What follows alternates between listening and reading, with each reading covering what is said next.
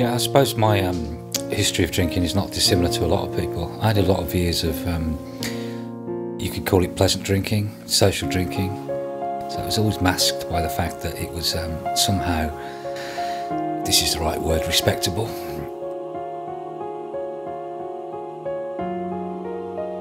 My life was a wreck.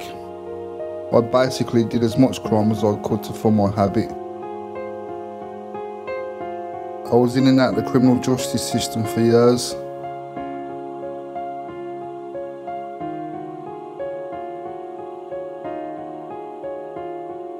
Smoking weed, heroin, smoking crack. I didn't know where to turn. My ex-boyfriend introduced me to it. We both used to do it together. So we thought everything was perfect. It was just me and him, so I lost a lot of friends. Well, I am lucky, really. My family never disowned me. It was the fact knowing that they didn't want me under the same roof. I had the support, I could go there for meals and clean up. I suppose it killed me knowing that I couldn't stay in there, knowing they didn't trust me.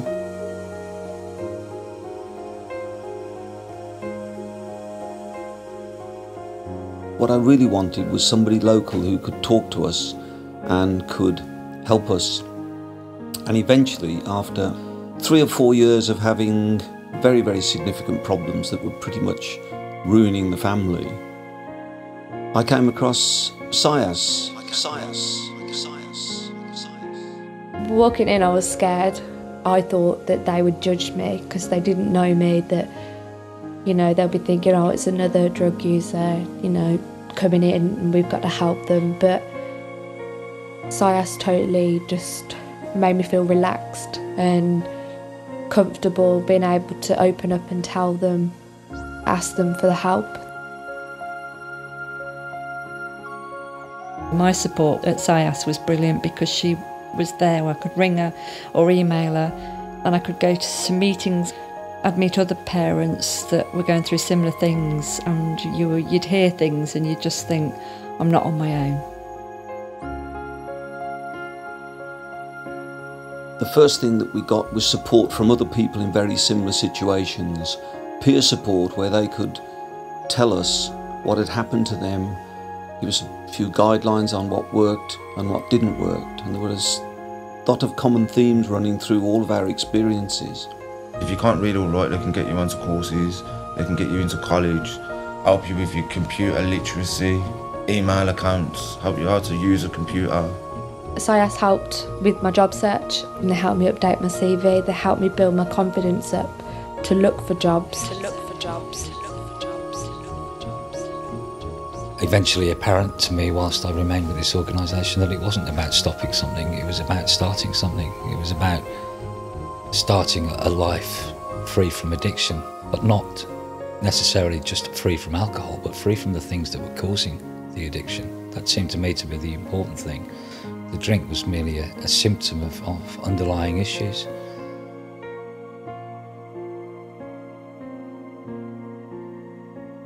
When I did start to engage, I started to realise that there was help. I was seeing a way out for myself.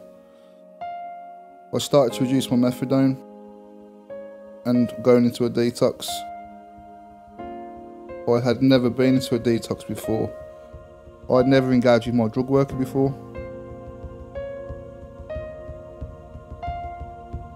Going to be brutally honest now and say that as a I was quite snobbish, really, because we come from a middle class background, that my daughter wasn't the sort of person that did drugs.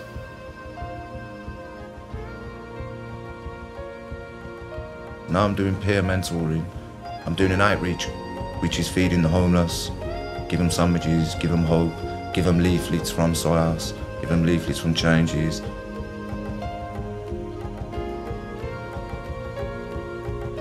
I am 112 days clean through SIAS and other services that are involved with SIAS.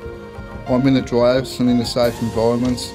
I'm out of my hostel and I go down to see my family on a regular basis. I go to NA meetings and I'm in a much better position than I was 112 days ago.